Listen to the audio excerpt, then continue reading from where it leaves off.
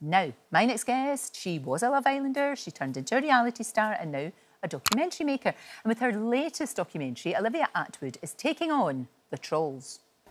What do you get out of this? Like, what make you feel good? These are some of the very sexual messages that I get constantly from various different people. They're so horrendous. I mean, it's abhorrent. The journalistic side of me is really excited to sit down with this guy who's a convicted troll, but the human side of me, I think, is a little bit scared. What kind of person says things like that? Well, Olivia joins me now, and it's fascinating because you look at both sides. Yeah. We saw you there with Shirley, Shirley Ballas, and I, I just don't understand why somebody like that gets such vile trolls. But also, you talk to somebody who does it. Yes. Did you get to the bottom of what was going on in somebody's mind that makes them think it's okay to do that? So we spoke with a convicted troll. We actually didn't manage to connect with anyone who currently trolls people Right. online, which I think marries into that concept that people often who troll don't want to be identified. No, of course they They don't. They don't want to own up to the things they say. Because they'd never see it to your face. No, never. exactly. And I think that's the problem we have is that the parallel, well, there is no parallel to between how people conduct themselves on the streets and in Mm-hmm. real life versus online. And with the convicted troll, we met and I spoke to him about what was going on at his time in his life when he did that. He said he felt very low. Mm-hmm. He felt like no one cared about him, no one was listening to him. And what happened was when he wrote these nasty comments online, a few other people then started retweeting his tweets, liking them. And actually, what he said, he got addicted to the the recognition from other trolls. So I think as So humans, itself, yes, and I think feeds on itself. research shows that a lot of people who troll are actually quite intelligent, as in they know how to cut where it hurts. Yeah. But they lack empathy in terms of the pain it's causing. And a lot of time, the motivation is just to be heard and seen, which I know, which it doesn't make an excuse for it. And, and you see the people we met during the film, all different walks of life. Hmm. The impact it has is huge. And you can see someone like someone like Shirley, you know, she's a grown woman, loads of experience. You know, she's she's incredibly strong and brave and all of that. But you know, when you were talking to her, you could really tell how much this hurt her. Massively. Some of the okay, some of the things were just horrible, but some are really disgusting. Yes. And I don't know, and it's so it's one of these things, isn't it? I always say to people, don't give these people the power. But it's very, very difficult to not let that hurt you. Of course it is.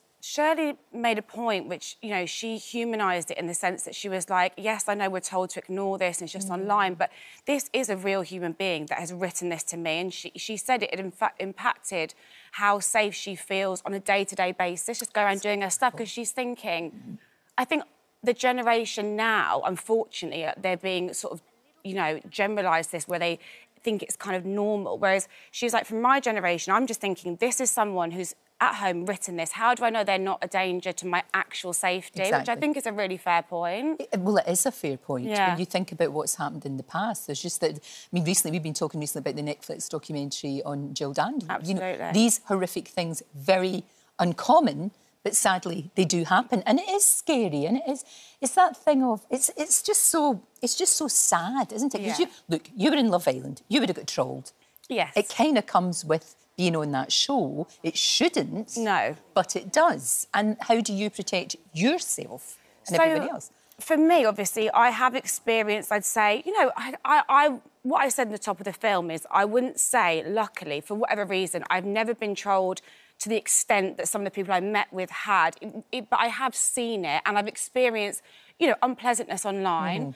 Um, and it, you know, it came very thick and fast after Love Island from being, you know, it's someone that kind of used social media as and when, and then all of a sudden it was like, whoa. Of course. Um, and it was a quick, steep learning curve. And I think my personality is, you know, I'm quite stubborn and I'm quite, you know, I'll just block it, Yeah. you know. But I think, and that's fine. And I've made a very conscious decision to stay in this industry for the last seven years and to be on social media. And that's something that, you know, it, like you say, shouldn't be a downside No, of it it, but we learn and we cope with it the best Yeah. we can.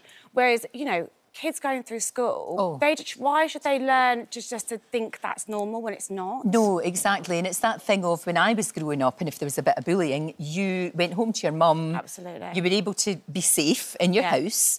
But now, of course, with your device, and we cannot say to young people, just get rid of it because No, you can't. sadly, you can't. You can't do that. No. It's, it's impossible, and it's so so difficult. And you know that you know ninety nine percent.